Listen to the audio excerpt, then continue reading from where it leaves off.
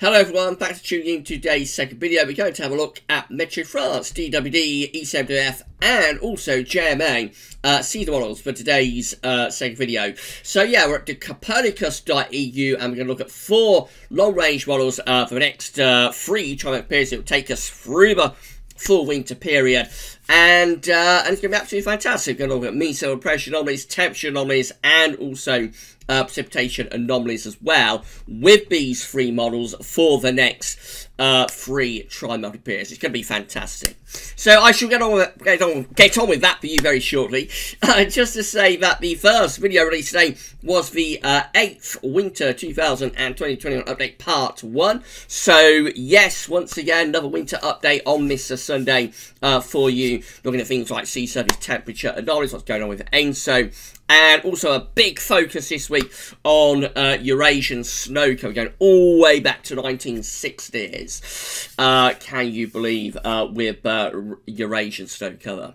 So uh, it's a very interesting watch. The video is uh, on the YouTube channel and also on the homepage at GavsWeatherVids right now. We placed on Winter Updates page later on this evening at gavsweathervids.com with a written summary uh, as well.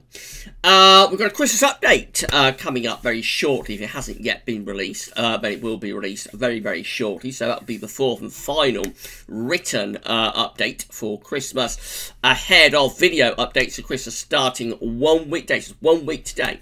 1st of November will be uh, when the first um, video update for Christmas uh, gets underway. So that's going to be absolutely fantastic. And we're going to be live streaming uh, from 6 o'clock tonight uh, as well. So we'll have our live stream, we'll check in, we'll see how we're all doing. And, uh, and uh, we're going to show you CFS V2 data for winter 2000 and 2021 in that live stream as well. It's going to be absolutely brilliant. And yeah, I shall see you live at 6 o'clock. Okay, so let's get on with this month's ECWF Meteo France DWD, and now also added into Makes JMA uh, seasonal update. We're going to begin with Meteo France mean sea level pressure anomaly. So here we go. This Meteo France uh, mean sea level pressure anomaly for November, December, January. Look at that. We've got an area of high pressure sitting out to our west, and we'll be bringing in the wind from a west to northwesterly direction. So reasonably anticyclonic. High pressures out to our west should be a reasonable amount of dry weather, but probably a bit on the cool side. The uh, next tri-monthly period is going to be covering, uh, we'll be covering December, January, February. Um, so with this one, we start to take high pressure away from us. We lower pressure in the normal latitudes. We've also got some higher pressure building over uh, Scandinavia. It looks like we're probably returning to a little bit, a little bit more of a westerly flow there. Maybe just started to um, a little bit more unsettled from off the Atlantic. And then the uh, final tri-monthly period is for January, February, March into the latter part of winter, uh, of course. And again, continue to lower the heights up to the north. So polar vortex is uh, developing to our north. Higher pressure pulling back towards the uh, eastern uh, coast of America and into uh, the, the uh, west of the Atlantic.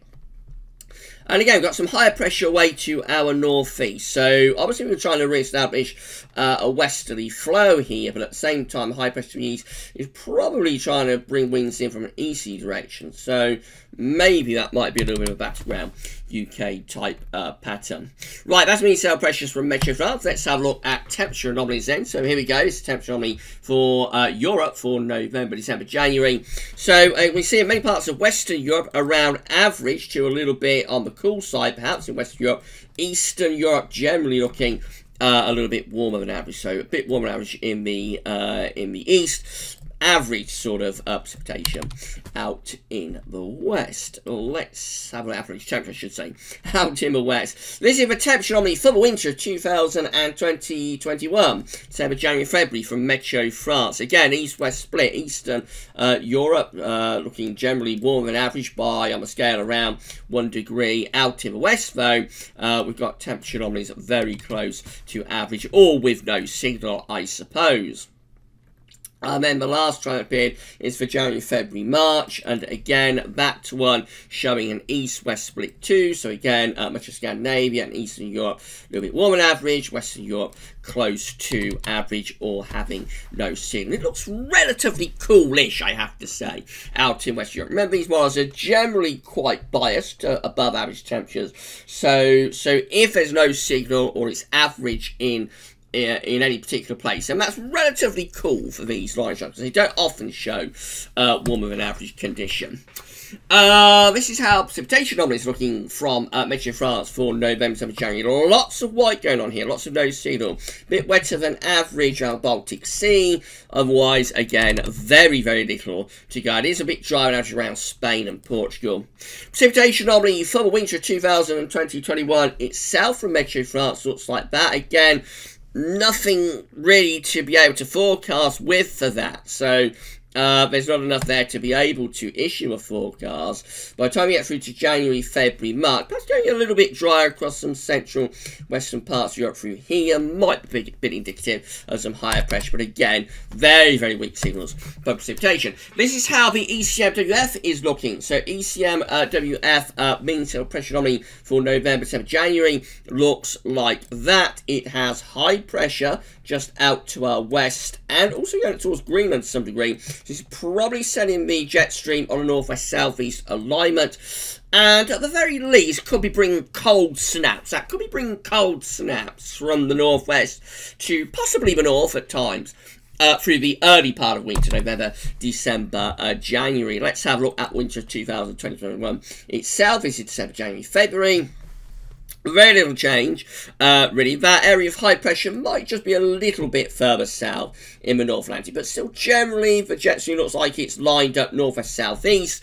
So again, I mean the Atlantic is blocked off, so it's not going to be overly wet, but there will be areas of low pressure coming into the country with those uh, northwesterly winds. And again, you could envisage the chance of some colder snaps from the north uh, with the uh, EC uh, mean sea pressure anomaly uh, there. And then January, February, March, looks like that. The high pressure begins to slip southwards. So later in winter, high pressure slips southwards. Low pressure about to the north, winds reverting into more of a westerly flow. So we're going flatter, really, after that northwest southeast alignment.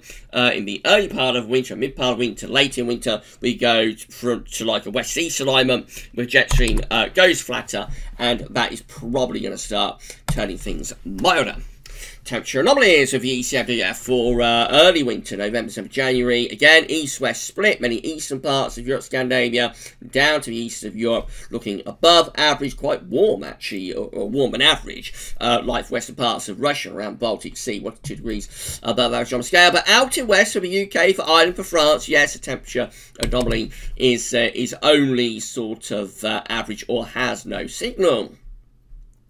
Uh, they have winter 2021 temperature on the itself, December, January, February. Again, very similar to uh, Meteo France in that most central parts of Europe are warmer, but on average it looks like it could be cooler uh, out in the west with that northwest southeast alignment of the jet stream.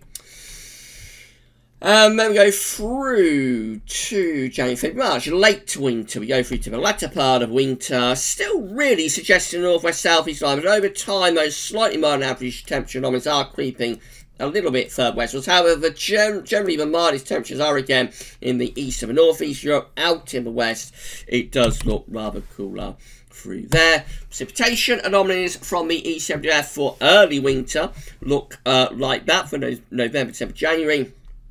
Looks a little bit drier than average across the western part of Europe, so some higher pressure through here, probably lower pressure is through there. There's the northwest southeast alignment of the jet stream. Western average around Scandinavia to Baltic Sea, driving average out towards the Atlantic. The next uh, precipitation anomaly for December, January, February is looking like that. Uh, again, so weak with the signals of precipitation, as always. It is a little bit wetter than average around Scandinavia and Baltic Sea, otherwise there is very, very little to go out there for precipitation for this winter. Um, then we've got uh, January, February, March, late winter. Looks like turning more unsettled across northern Europe, becoming, becoming wetter than average through here. Low pressure coming back, driving average down towards Spain and Portugal. It's high pressure down there. And of course, this is turning us into a flat westerly flow. Uh, right, next up, we've got DWD. So this of DWD uh, mean cell pressure anomaly is looking for November, December, January. And look at this, we've got high pressure pretty much over top of the country for early part of winter. Low pressure is up to north. Jet stream pushed north as well. Looks very anti-cyclonic. The next trimester period with the German model again has high pressure centered pretty much over top of the country. This is for winter 2020-21 itself. Of course, high pressure centered over country. Low pressure is up to north. Jet stream is pushed northwards uh, as well with that one. Um, the next trimester period is for January, February, March. Again, very anti-cyclonic signals, high pressure just drifting a little bit further southwards though. Lower pressure developing all the time up to north, winds going west south uh, west um, uh, southwest to northeasterly, so so it's westerly jet stream. Looks like it's becoming uh, increasingly mild later on in winter. Temperature anomalies from DWD very much in line with the other two models, so warmer Scandinavia and eastern parts of Europe, no signal or perhaps cooler out to west uh, for November, January. This is uh, December, January, February, winter 2020 itself. So looking milder than average across the far north and northeast of Europe. Otherwise, again, lots of white, lots of no signal. Uh, and then the latter part of winter becomes milder. This is January, February, March when we see those mild average temperature encroaching in across the north of Europe uh, from the northeast. It looks like the latter part of winter with DWD becomes milder. Precipitation anomalies with DWD starting off uh, drier than average away from Scandinavia, most parts of either UK looking drier than average uh, there early in the winter. Uh, winter 2000 and 2021 itself, December, January, February again is looking drier than uh, average. High pressure dominated. And then uh, late winter, January, February, March, looks like it might be starting to turn a little bit more unsettled, but drier uh, anomalies are pushing away to the southwest, it's going a little bit more unsettled up to the north. And then finally, we've got the JMA. So yes, now JMA, uh, Japanese Meteorological Agency season model, is included uh, within the Copernicus suite of models. Uh, quite uh, surprising that that's happened.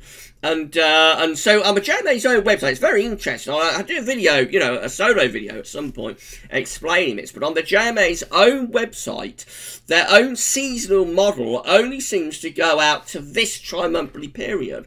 November, December, January. You cannot see further ahead than that, I don't think on the JMA's own website. And yet on Copernicus, you can go out through the next three trimester periods. So you can actually see more from the JMA at copernicus.eu than you can at the JMA's own website, which does seem very, very strange and very bizarre. Um, but anyway, never mind. They've done it. So, uh, so let's do it, shall we? Uh, this is the JMA mean cell pressure anomaly for uh, November 7th, January. Again, it suggests higher pressure over and to the west of the country, trying to ridge up towards Greenland as well, possibly a northwest-southeast alignment with the jet stream. The next tri-monthly period is December, January, February, pulling that high pressure further away from us into the Atlantic and moving up towards Greenland. Low pressure through here. This looks like it could be turning quite cold. Winds may be going northwesterly or even northerly during the winter of 2020. 21 and then the next tri-month period is for uh, January February March and this one looks quite interesting too because most of the other models all the other models we've seen the other three are suggesting like a return of westerlies uh, late the winter. This one doesn't really do that. So the JMA still just has this ridge through the North Atlantic up to Greenland low pressure issue here. You will think at very least there is still probably a northwest-southeast alignment to the jet stream with this. And you wouldn't totally rule out the chance of like a northerly influence uh, with this one, with the JMA. So very, very interesting. Uh, temperature anomalies uh, from the JMA look milder than average on November 7 January across southern Europe. Otherwise, no signal for much of Europe. Cooler than average up here. Let's have a look at temperature anomaly for winter 2021 itself from the JMA. This is it. So, uh, again, uh, this is what we can see. Mild average across southern and southeastern Europe. It looks like it's probably cooler, though, in the northwest of the north. Maybe. Might be. And then late in the winter, January, February, March is looking like that. So uh, it's going to be mild average on the eastern side of Europe. Again, average or no signal in the west, possibly with these cooler average temperatures out here, hinting at being cool and average for the far northwest Europe, including the UK and Ireland later in the winter. So not particularly going uh, especially mild later in the winter with the JMA. And um, then finally, we've got precipitation. So this is the rainfall anomaly, precipitation anomaly for November, December, November, December, January. Looks like that. Again, very weak signals, a bit dry on average in the west of Europe. Otherwise, no particular signal precipitation anomaly for December, January, February. Looks like that again. Very, very weak signals here for precipitation, as always. Bit wetter than average here. Central bowl of the Med. Driving average up towards Iceland, now into the Atlantic. That's possibly indicative of higher pressure being through there. And map position of high pressure is interesting because you would think that pulls the wind in from up the north. Um, then we go through to uh, January, February, March. Finally, of the JMA, it looks like this. So again, no no signal really. There's not enough there to be able to form a view one way or the other. Although it does look driving average out to our west and northwest. But that's about all we can say. Uh, right, very interesting update then uh, from these four, not three now, but four uh, seasonal models. I hope you found the video interesting and informative. Please give us a like on the video. Let us know in the comments what you think about all of this. Make sure you subscribe to uh, Service YouTube channel. Uh, we're going to do the second Winter 2020-21 seasonal model roundup uh, uh, on Saturday, actually. I think we may premiere that. Stand by for an announcement on the community page in the next day or so. But I've got a feeling we may well premiere uh, the second season one round on Saturday, probably on, on Saturday evening, uh, 31st of uh, October, Halloween, of course. Halloween will probably premiere the second season one roundup for Winter 2020-21. So these four models will be included in that line for all of the other long range models as well, and uh, we'll see what the model consensus is uh, for Winter 2020-21 for only the second time uh, this uh, this season. So it's going to be great. It'll be fantastic. And that'll be coming up on Saturday. Either it's just a regular upload, but I think we'll probably do a premiere uh, for that one on Saturday. Let me know in the comments whether you would like to see a premiere for the uh, second seasonal roundup of Winter 2021 on Saturday. And talking of winter, yes, we've got winter update uh, for you on the homepage at GarethService.com right now and on the YouTube channel. It's the 8th Winter 2021 uh, update. So it's got all of the usual stuff, sea survey temperature anomalies, solar activity, ENSO, uh, what's happened with hurricane activity over past week, and also it's a Eurasian snow cover special. Uh, so, so have a look at that, and uh, it's absolutely fantastic. We've got the uh, written fourth and final written update for Christmas as well. Hasn't been released yet. It will do very shortly. Uh, and uh, don't forget, we're live streaming from 6 o'clock. We'll take loads of questions. We'll talk about winter update. No doubt this uh, this update will come up in the live stream as well. And I'm quite sure we will show you winter data, probably almost certainly, from the CFS V2 this video though, that's all for now, and thanks so much for watching. Bye for now.